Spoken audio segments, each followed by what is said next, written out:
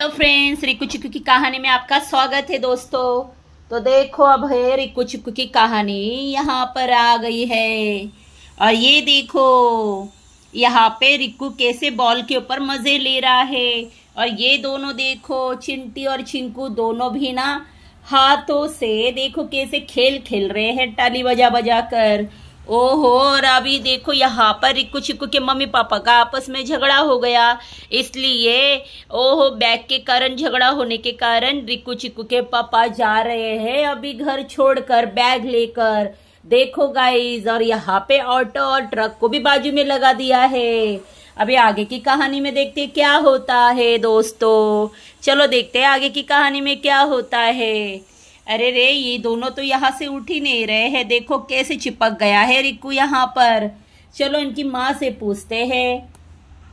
ओहो, सुबह का वक्त है दोस्तों, और यहाँ पर देखो, ट्रक के पास ही रिक्कू चिक्कू के पापा, मम्मी से उसके झगड़ा करके यहाँ पे लेटे हुए थे, और रिक्कू चिक्कू की मम्मी यहाँ पर सोई है बेड के ऊपर। लेकिन ये रिक्कू चिक्कू कहा है? ये दोनों यहाँ पर खेल रहे हैं दोस्तों। और यहाँ पे देखो, रिकू और चिंटी भी आए हैं। चिंटी और चिंकू भी आए दोस्तों। और यहाँ पर देखो, ये लोग कैसे खेल रहे हैं, हँसी उड़ा रहे हैं, मज़ाक कर रहे हैं। ओहो, चलो पूछते हैं, इन्हें क्या हो गया? अरे रिकू अरे रिकू, तू यहाँ पे ऐसे अकेला खेल रहा है? तेरी मम्मी पापा तो वहाँ पे आराम से लेटे हुए हैं। अरे दी जाने तो जाने तो मुझे क्या करना है? मम्मी पापा तो ओहो, साल में एक दिन तो उनका लड़ाई रहता ही है, मैं क्या कर सकता हूँ उसमें? मम्मी पापा को समझता नहीं। मेरे से भी लड़ते हैं उनसे और आपस में भी लड़ते हैं। अरे रिकू, चुप बैठ चुप बैठ, ऐसे मम्मी पापा के बारे में बोल मत। ऐसे कोई बोलता है दूसरों को मम्मी पापा के बारे में? अरे तू चुप बैठ, तू चुप बैठ, तुझे नहीं समझता है। हमेशा झगड़ा देखते रहता हूँ मैं मैं बोर हो चुका हूँ। अरे चिंकू चिंटी, तुम लोग यहाँ पे खेल रहे हो, तुम लोगों को कुछ समझ नहीं, तुम्हारे घर में झगड़े नहीं होते, तुम टाली मार मार के हँसी उड़ा रहे हो, मज़ा कर रहे हो।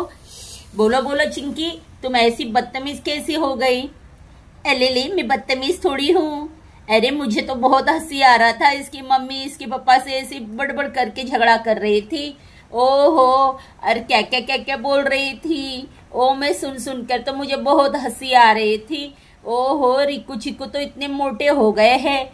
ओहो, इन्हें तो कुछ समझता ही नहीं है, कुछ भी बड़बड़ करते रहते हैं। और मेरा मज़ाक उड़ा रहे थे, मेरी मम्मी का मज़ाक उड़ा रहे थे, आज देखो इनका ही हो रहा है। ओहो थर्ड अरे, ये क्या कर रही हो थर्ड थर्ड अरे, तुम्हें अक्कल नहीं, तुम मस्ती कर रही हो, चुप बेटो चिंकी।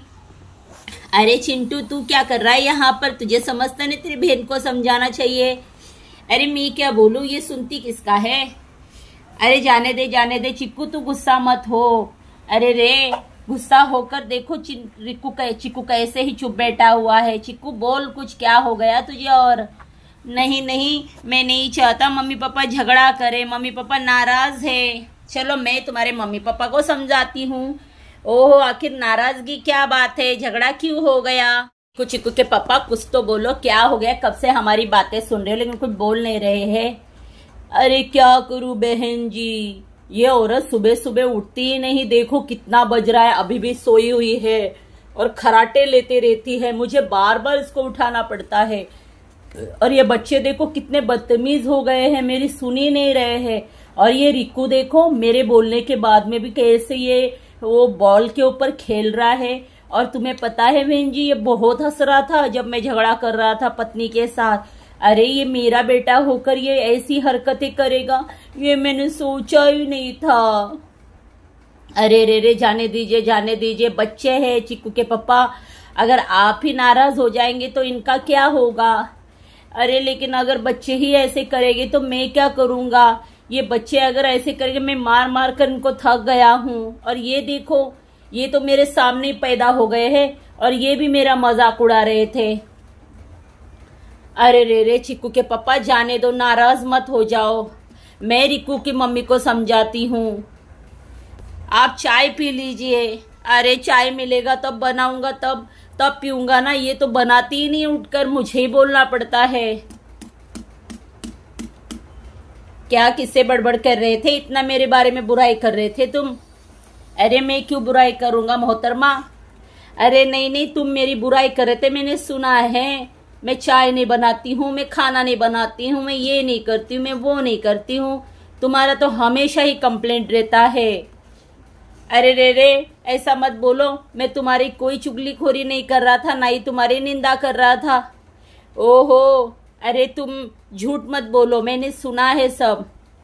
अरे चुप बैठो, तुम्हारा तो हमेशा ही नाटक होता है, बच्चों को बिगाड़ के रख दिया है तुमने। अब मुझे बोल रही हो अगर ऐसा है तो मैं अपना ऑटो रिक्शा और सब कार वगैरह लेकर मैं घर चला जाता हूँ बैग लेकर।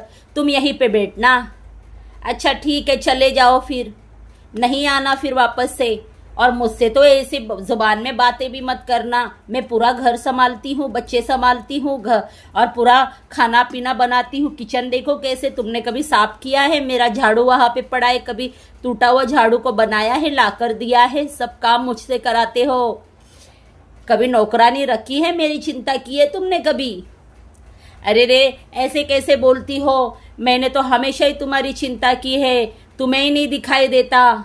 अरे क्या चिंता की है? कभी संतरे लाते हो, कभी मौसमी लाते हो। थोड़ा बहुत खाने को लाने से उसकी चिंता होती है। सारे पैसे तुमने कल जुए में उड़ाया है। मुझे तो फ़ोन आया था, लेकिन मैं रात को कुछ बोल नहीं पाई क्योंकि मैं नींद में थी। अगर ऐसे करते रहोगे तो मुझे ही घर छोड़कर जाना पड़ेगा। हम्म। अरे, इसको कौन बताया कि मैंने जुआ खेला? अरे, कितनी झूठ बोल रहे हो? किसने बताया तुम्हें कि मैंने जुआ खेला है? अरे अरे, रिकू की मम्मी, सुनो, ये झूठ है। तुम्हें किसने झूठ बोला है? हो गई लड़ाई। अरे बच्चों, तुम्हारी माँ को समझाओ, मैं तो तुम्हारे साथ शाम से था बच्चों, मैं तो कहीं पे गया भी नहीं। अरे पापा, मम्मी सुने तब ना, मम्मी तो किसकी सुनती ही नहीं है, मम्मी तो अपने बड़बड़ करते रहती, मम्मी से कौन लड़ेगा?